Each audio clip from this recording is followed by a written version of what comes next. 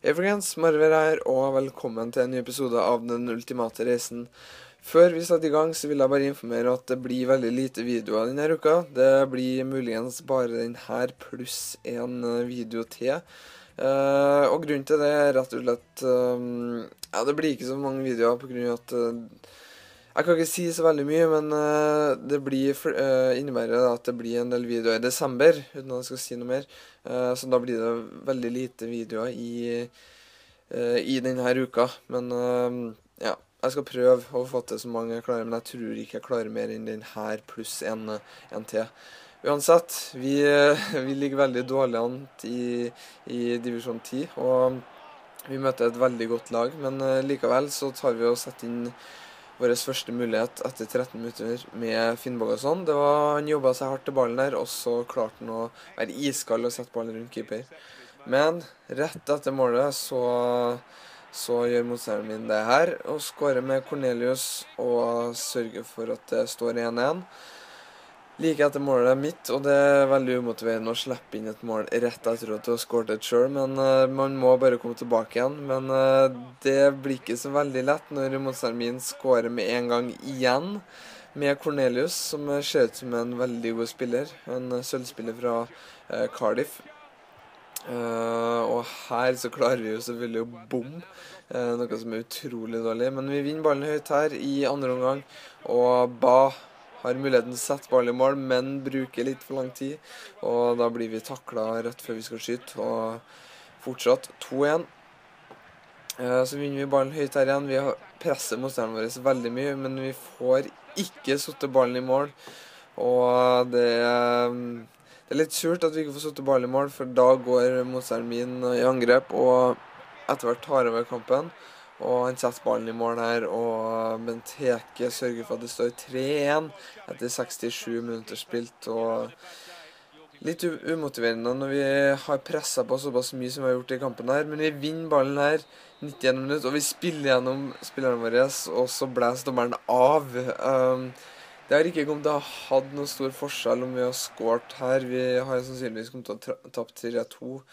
Um, men har det dermed sagt har det vært på stillinga 3-2, og vi hadde muligheten til å få med oss ett poeng, så har jeg blitt utrolig irritert. Men uh, jeg syns dommerne på Fifa 14 blæsa kampene i litt rare tidspunkt.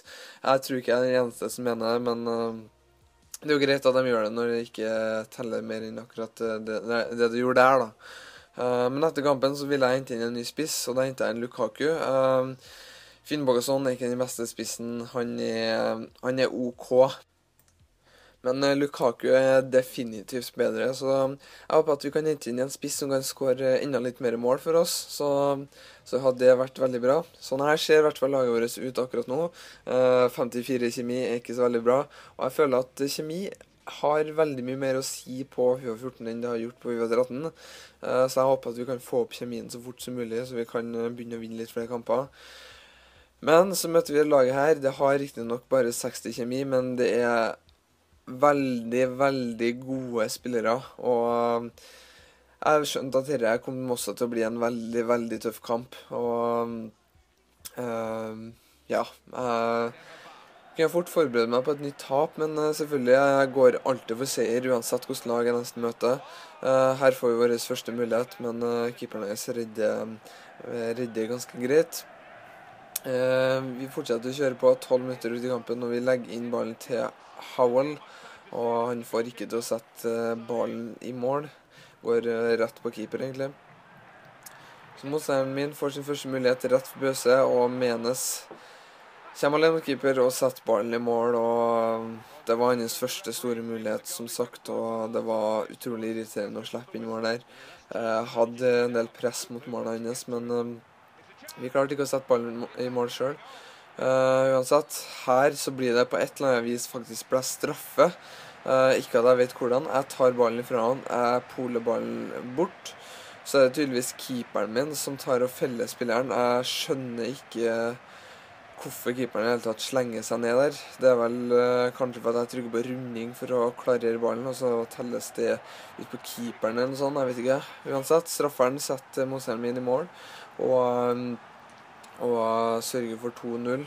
Noe som er utrolig irriterende fordi at jeg hadde styrt kampen såpass mye som jeg hadde gjort. Men uh, når vi ikke setter ball i mål, så taper vi som regel kamper. Vi vinner i hvert fall ikke. Og vi taper kampen her 2-0, og det er fullstendig krise. Vi må begynne å vinne kamper hvis vi skal klare å rykke opp fra tiendedivisjon. Men uansett, det var slutten på episoden her. Legg ned like hvis du likte den, og abonner for å få med flere.